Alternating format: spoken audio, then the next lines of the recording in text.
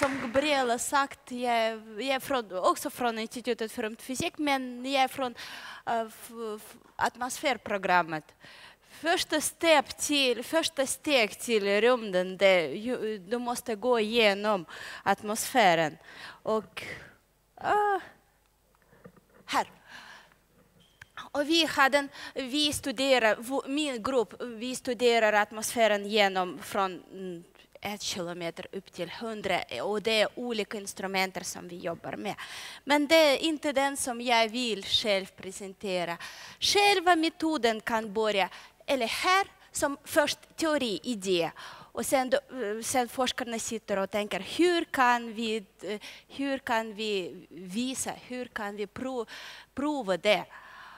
Och sen det experiment, observation, hur, exakt hur de ska jobba.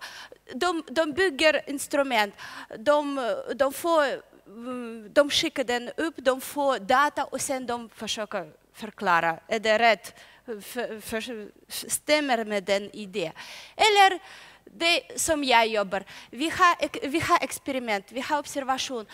Och sen vi försöker eh, förklara det, sen vi har te teori och sen vi börjar om. Och det var så.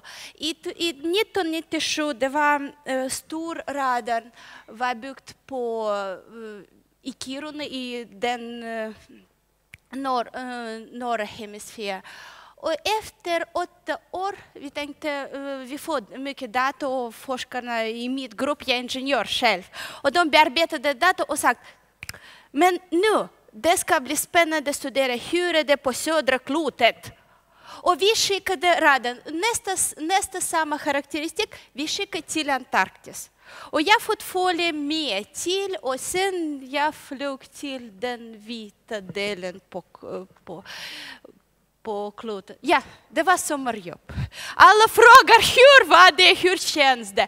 Men det är exakt det som, som, all, som Gabriella berättade. Vi måste lösa problemet på, med, egna, med, med den erfarenhet som vi har. Bara om det är någonting trasigt, om någon krånglar med radarn, vi kan inte hoppa i bilen eller ta luren och säga skicka den reservdelar till oss. Nej, det går inte. Vi hade bara, uh, vi hade, här, the runway. Vi hade två flyg, flygningar på, på två och halv månader. Första som droppade, oss eh, och eh, den andra som hämtade, hämtade oss. ja, det är isen. Det är, det är, den, det är, det är riktigt utsikt på, på Antarktis. Uh, ja, var det uh, strålning? Det var också strålning. Det var, det var bara en timme som det var högre än 30 grader. Och det, kanske sex dagar efter det var så den hemskt vind, vi kan inte gå, vi får inte gå ut, vi måste göra mätningar och sådana mätningar, hur det går till, um, um, till från stratosfären till troposfären, men vi får inte. Tyvärr, 31, 27, det är fantastiskt vind det var. Det, uh, det är den som vi åkte med. Den är, jag tror, det södersta bränslestation. Jag kan säga så. Och vi, vi får åka, åka mycket med skotrar och med den för att eh, få vatten. Det vår uppgift var att bygga, att göra mätningar med raden och sen plocka ihop och flytta den till andra ställen.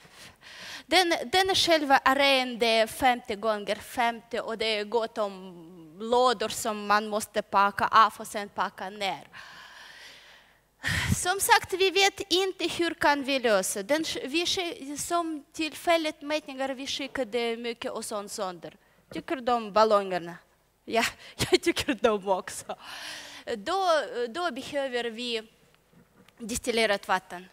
Vi har ingen destillationsapparat uh, eh, haft där nere på Antarktis. Vi prövade koka vatten, men vi får, för få, då får vi Eh, vatten speciellt, eh, på speciellt ställe utanför, under isen och vi fått skicka ballon och även Snow Petrels var så nyfikna.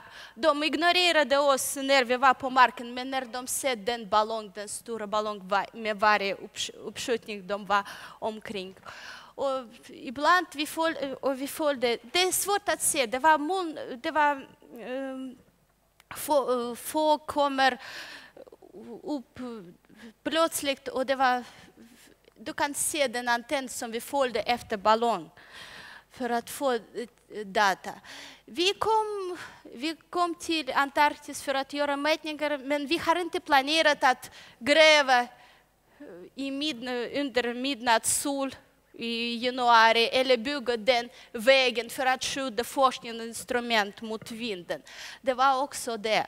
Men uh, vi vet, eh, jag, kom, jag åkte dit och jag tänkte, jag, jag var så säker på mitt jobb, men som sagt, jag, jag kan inte tänka på vad ska jag göra där borta. Men det var så, det var så, det var, eh, grävde och byggde och även planterade grönsaker. Ja, ja, det var det. Som sagt, det var, det var bara ett flug, och det, eh, med på det flyget vi haft vår forskningsinstrument och vi har haft mat. Vi kan inte ta hur mycket eh, reservdelar som helst, vi måste ha lite. Men vi planterade grönsaker. Och eh, även, det är möjlighet att se på pingviner. Vi vet inte vad kan hända, men det är bättre än cockroaches, såklart. Men det är den som jag lever med och den som fortsättning får. Och eh, vi bygger extra antenner.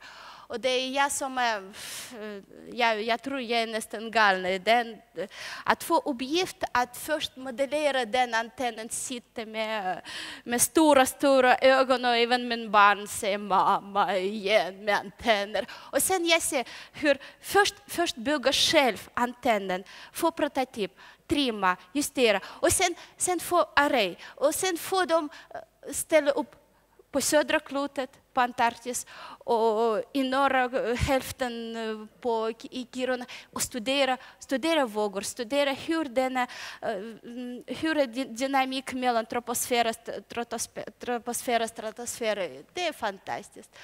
Och det, det är den som, haft, som vi haft på dörren när vi gick ut. Och jag önskar er trevlig sommar. Tack så mycket.